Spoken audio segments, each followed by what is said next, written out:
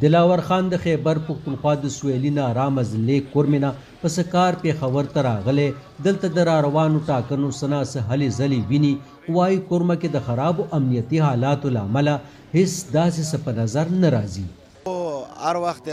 امن غواړو کورمېوال، خو مو دې ته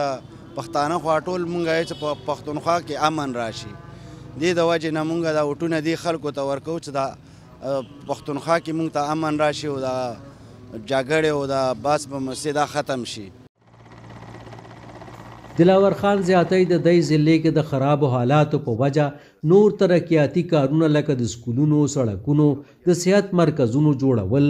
او د خلکو روزګار باندې هم منفي اثر وي پوهان وايي، سیمې کې د تېرو څلوېښتو کلونو او بیا په خصوصي توګه د تېرو شلو کالو نه د پښتونخوا نو ضم شوو ضلعو کې په زرګونو خلک ووژل شول، کورونه او بازارونه تباه شول، حکومتونه راغلل او لاړل، خو د سیاسي ګوندونو له خوا چې د امن غوښتنه څنګه په کار وه، هغه شان نه ده شوې. زما خیال دی چې خلکو ته اوس په کار دي چې دا خپله هغه بدله کړي او دې ته سوچ وکړي چې زموږ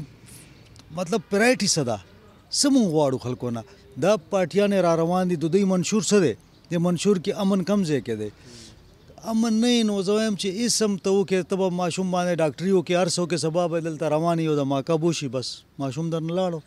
ارشد عزیز وايي خپلو منشورونو کې به د هېواد ټولو ګوندونو له د امن راوستو نقطه ړومبو کرښو کې کول وي، خو کوم ګوندونه چې پښتونخوا او بلوچستان کې زیات مقبولیت لري، وايي د هغوی د منشور ړومبۍ نقطه هم امن په کار ده، ځکه چې دې سیمو کې حالات زیات تاوجن دي، خو دلاور خان بیا راروانو انتخاباتو ته خوشبینه دی. ان شاء الله چې مونږ حکومت راشي ان شاء الله سره به مونږ حکومت او کور مې حالات به ان شاء الله ټیک ټاک شي. او اوس حکومت نگران دی